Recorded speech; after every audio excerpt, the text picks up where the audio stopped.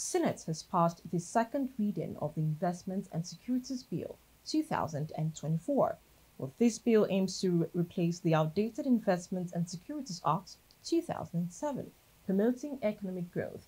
This initiative was spearheaded by the Senate leader, Senator Opeyemi Bamidele and Senator Osita Izunaso, who emphasized the vital role of the capital market in driving economic growth.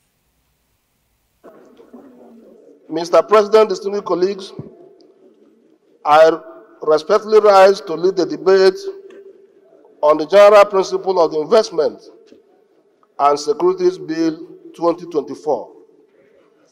The bill seeks to repeal the Investment and Security Act 2007 and enact the Investment and Security Act 2024 and to establish the Securities and Exchange Commission as the apex regulatory authority for Nigerian capital market, as well as regulation of the market to ensure capital formation and protection of investors, maintenance of fair, efficient, and transparent market.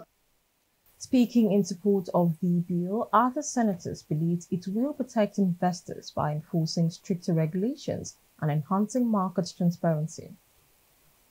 This uh, amendment is very important to ensure that the Securities and Exchange Commission does its job in line with the global best practice. The most, most cherished $1 trillion GDP that we are targeting this is the engine room in achieving that objective. Uh, Securities and Exchange Commission all over the world are known as catalysts into building, initiating investments, building them, guiding them, and regulating. So this bill seeks to do that. The capital market, as presently constituted, need to be reorganized because of some fraudulent practices that are happening in the capital market.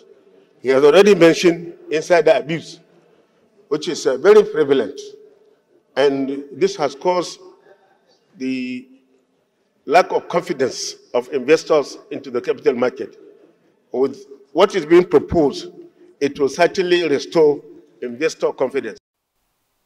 President of the Senate, Senator Godswill Akpabio, who committed the bill to the Committee on the Capital Market for further legislation function, emphasized that the legislation is crucial to strengthening Nigeria's economy. Um, one of the things that interests me is what you pointed out here reduction of systemic risk. Reduction of systemic risk. I think a lot of uh, people will be happy to infuse funds into the capital market when they know that a lot of uh, uh, the risk has been minimized or reduced to the barest uh, minimum. So this is uh, very good. So I thank everybody because there's really nobody that says that a bill should not proceed uh, to, uh, to the second level. So uh, let me put the question. Those in favor that this bill be now read a second time, say aye. Those again say nay. The ayes have it.